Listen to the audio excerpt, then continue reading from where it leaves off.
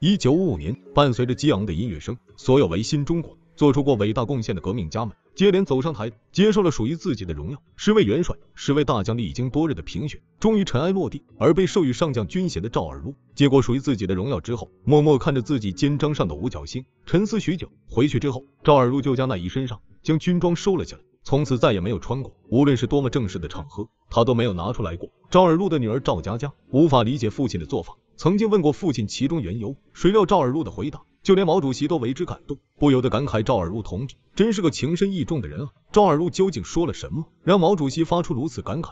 赵尔陆一个曾参加过南昌起义和红军长征的革命者，是共产党中实打实的老将领。他曾担任过八路军供给部的副部长，给八路军的抗战工作做了极大的支持，也担任过冀晋纵队司令员兼政委，还是解放战争时期第四野战队的参谋长。丰富的人生履历是赵尔陆在战场上一次次冒着生命危险的拼杀，他用自己的血与汗换来了属于自己的荣誉。一九五五年，这个已经五十岁的山西将领，迎着雄壮的音乐声，随着列队走入了中南海的会场。一级八一勋章、一级独立自由勋章和一级解放勋章戴在赵尔陆身上时，他的心中油然而生一股自豪感。赵尔陆被授予了上将军衔。赵尔陆同志，希望你在今后的工作中能够为新中国的事业做出更大的贡献。是，保证不辜负党的期望。赵尔陆铿锵有力的回答道。然而在转头看到肩章上的五角星时，赵尔陆忽然想起了那段和战友们一起浴血奋战的日子。赵尔陆忽然觉得，这个上将军衔不应该是自己一个人的，他属于和自己一起战斗、为了革命牺牲的千千万万战友的。想到那些战友已经无法看到今日的新中国，也无法被授予这样的荣誉，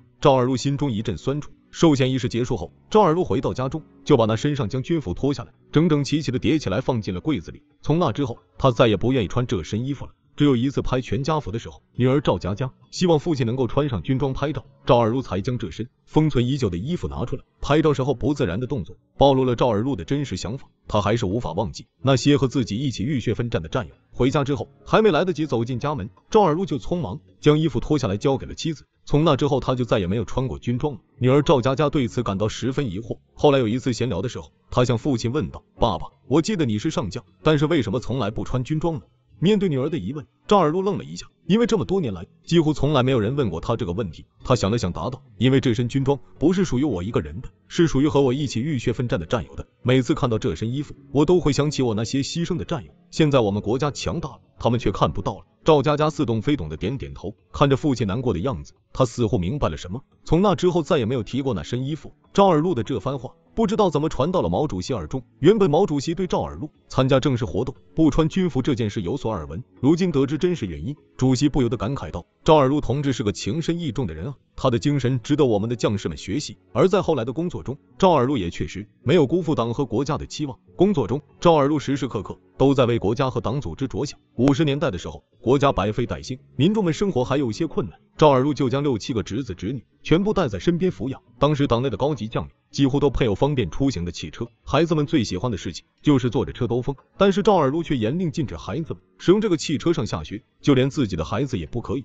大一些的孩子，他就给他们准备一个自行车；小一些的就坐公交车。赵尔陆之所以这么做，一来是希望给国家节省资源，减少麻烦；二来也是希望这些孩子明白，即便是将军的孩子，也和普通人一样，明白勤俭节约的道理。无论做什么事情，都要靠自己。在赵尔陆的教导下，这些孩子慢慢长大，凭借自己的能力进入部队中工作。成为共产党根正苗红的接班人了。赵尔陆工作繁忙，没有时间到部队中走动的时候，他就将侄子侄女叫过来，一边吃饭一边想他们，了解部队中的情况，看看有什么需要改进的地方。一旦发现问题，赵尔陆总会第一时间上报给中央。没过多久，全国就因为大面积的自然灾害闹起了饥荒。毛主席带头节约粮食，赵尔陆也紧随其后。从那之后，赵家的餐桌上就没有肉和面包，只有一道萝卜菜，还几乎没什么油水。那时候的赵佳佳还是个小孩子，本就不喜欢吃萝卜的她，每天吃的脸色发绿，饿得面黄肌瘦的。也有人劝过赵尔陆，小孩子还在长身体，偶尔吃点肉没关系的。赵尔陆也总是一句话就拒绝了。现在还有多少人在饿肚子？多少人的孩子连这口萝卜都吃不上？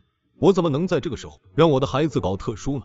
但是赵尔陆能忍受，赵佳佳一个小孩子受不了了。他那个年纪根本不能理解什么是饥荒，只知道自己每天只能吃自己根本就不喜欢的萝卜。有一天晚上吃饭的时候，他再也忍不住，将筷子往桌子上一放，就喊到：“天天都是萝卜，我不想吃萝卜了。”赵尔陆当即黑了脸，将筷子往桌子上重重一拍，说道：“你知不知道现在有多少人还吃不饱肚子？”连周总理和毛主席每天都只能吃一顿饭，你现在吃的饭已经比别人好太多了，还敢挑三拣四。赵佳佳从来没见过父亲。发这么大的脾气，当场哭了起来。后来在父母的教导下，他才知道自己有多么不懂事。赵佳佳为自己的行为向父亲道了歉。困难时期过去之后，赵尔陆很快又投身到国家的建设工作中。一九六一年，随着国防部办公室的成立，原子弹的研究工作也被提上了日程。赵尔陆将军被分配到了这里，负责我国的国防事业。赵尔陆工作兢兢业业，工作人员经常大半夜还看到他的房间中亮着灯做笔记，因为当时苏联撤走了所有专家，还带走了足足一卡车的资料。我国的原子弹研制工作几乎是从零开始的，每个人身上都肩负着国家和人民的期望，所以赵尔陆一刻也不敢松懈，哪里有需要，哪里就有赵尔陆的身影。虽然对于物理学知识了解的并不多，但是赵尔陆依旧时时刻刻冲在工作的最前线。机器出现了问题，赵尔陆要亲自去看看；材料短缺，赵尔陆要亲自上报中央。工作报告，他必须一字一句写清楚才能够上交，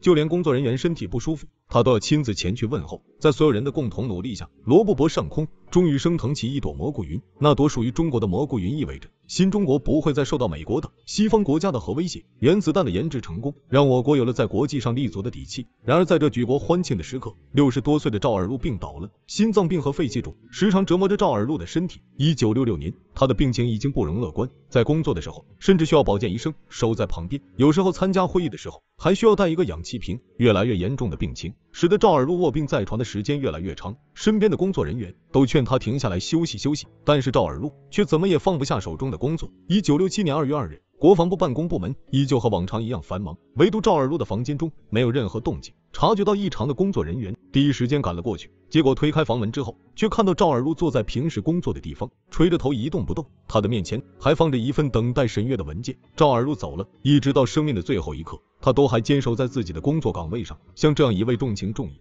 兢兢业业的老前辈致敬。